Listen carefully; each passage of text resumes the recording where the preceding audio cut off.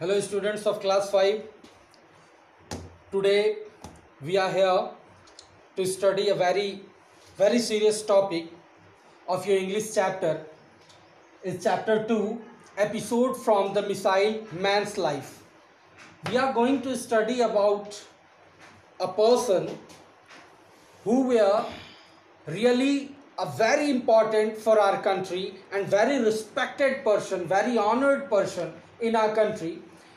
From some part of his life we are going to study we are going to study in this chapter. So let's start. You know apj abdul kalam was known as the missile man of india. You know he is a very good scientist.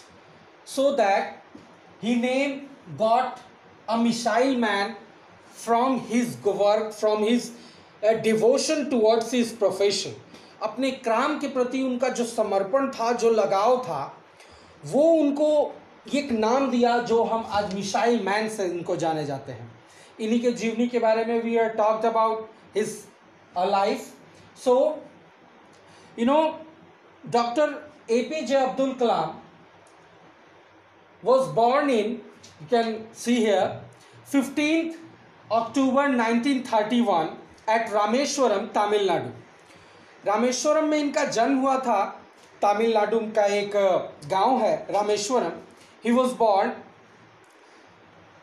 the name he got A P J from his father his father is जनुल्ला the and mother is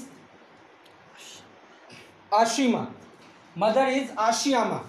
So, you know, the tradition is that he, he got his name, his big name, Abul Pakir जैनुल्ला Abdul Kalam तो जैनुल्लादीन जो है वो नाम ही got from his father and you know a very interesting thing is about his family is his mother his mother is so pious so religious you know one day things is happen you can realise this आप समझ सकते हो उनके religious impact को, उनके religious view को, इस इस एक छोटे से चीज़ के माध्यम से that one day the Abdul Kalam says that अम्मा he use his mother to say अम्मा अम्मा that I have to go to the temple first and then even I come back and then read the नमाज़ pray the नमाज़ offer the नमाज़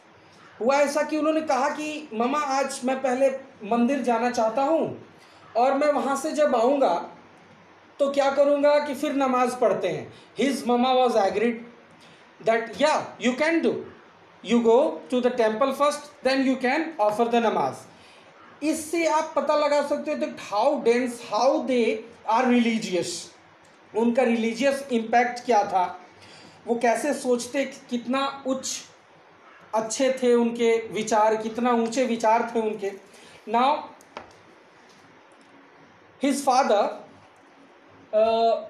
is a very good friend of a priest जो मंदिर के पुजारी थे ना, उनके पिताजी के बहुत अच्छे दोस्त थे and he always come to his house and they we are talk to each other and after between the conversation of this two means this two conversation means his father and the priest उनके पिताजी और priest के बीच का जो conversation है, वो सुनते थे।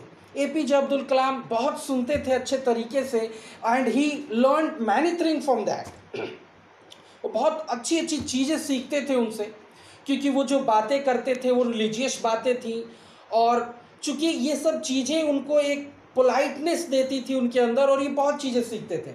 और जो म, म, माता जी ने उनको सिखाया जो विरासत की सीख थी the mother has taught he learn from his mother is that कैसे आप पोलाइट रहना है how to be polite how to be good mannered from someone to someone these are the things about the APJ Abdul Kalam. Now, the next thing is his cousin is Samshuddin.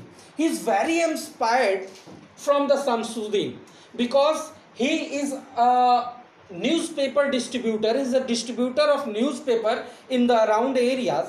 तो वहाँ पर ये newspaper distribute करते थे जो cousin थे तो उनसे वो काफ़ी सीख चूँकि in the early in the morning they have to wake up and they have to go door to door and visit the and distribute the newspaper so tough work बहुत टफ वर्क होता है newspaper distribute करना early in the morning उठ के सब करना होता है। सो so, बहुत ज़्यादा इंस्पायर्ड थे उससे और वो भी चाहते थे कि वो भी वर्क करें वो भी चीज़ें। तो वो क्या करते थे? वेरी इंटरेस्टिंग एक इंटरेस्टिंग चीज़ मैं बताता हूँ आपको इनके बारे में। कि ये क्या करते तो रोज़ एक न्यूज़पेपर जो है, ले लेते, चूँकि he is very very small so he can't able to read and write at the time उस वक्त ही ये क्या करते थे कि पेपर ले लेते थे। And just he figure out the अपने नॉलेज को समझने का कोशिश करते थे वो जो लिखा है क्यों कैसे? बस फिगर आउट करके फिगर को देखते थे पिक्चर को देखते थे और समझने की कोशिश करते they try to understand because वो समझने की कोशिश करते क्योंकि लिख नहीं पाते थे। इज़ सो यंग लेकिन जब वो पढ़ना लिखना जान गए जब वो सीख गए तो वो किताबों से लगाव हुए दे लव टू रीड वो बहुत पढ़ते थे। यू you नो know, उनके जो पड़ोस थे पड़ोसी थे और उनका एक लाइब्रेरी था they have a library they spend all the time he spend all the time at his library उस सारे वक्त लाइब्रेरी पे बिताते थे वो हालाँकि उनसे कहते भी थे that what you are doing here all the times all the day whole day you are spending here they smile वो सिर्फ़ रिप्लाई में सिर्फ़ स्माइल करते थे. They only give a smile in in his reply बस ये सारी चीज़ें थी थोड़ा, लेकिन the things is that they love to read they love to they're very hardly. And one more thing is interested about that. He started earning money उसी बीच क्या हुआ that in 1939 world war two revolve world war two जब start हो गया तो क्या हुआ दैट और उस वक्त at the time he was only he was only eight years old then at the time he was only eight years old then, when world war ii is begins. Now at the time the tamarind जो seeds था, जो इमली के बीज हुआ करते थे, उसकी डिमांड अचानक से बढ़ी थी. So he use to collect that and sell it to the market वो क्या करते थे कि उसको कलेक्ट करते थे और जाके मार्केट में सोल्ड सेल करते थे। इससे क्या होता था? He earn one anna you know one anna daily वो डेली एक आना यर्न कर लेते थे। And it quite be good for him और ये आदत लग गया और ये उनकी पहली कमाई थी। It was his first earning अब ये जो पहली यर्निंग थी, इसके आगे आपको नेक्स्ट और भी बहुत सारी चीज़ें हैं जो you have to low know about his it's a very man kind person is a very laborious person and in this lecture that's it thank you